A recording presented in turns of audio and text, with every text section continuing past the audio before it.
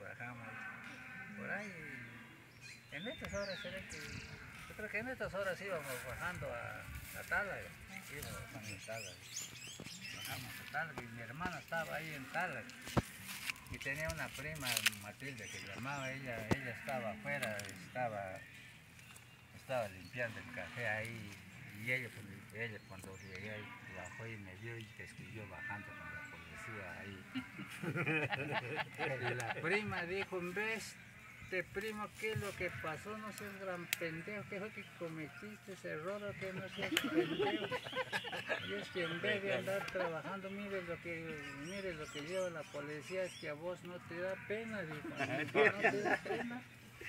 Pero como yo ni sabía en qué era que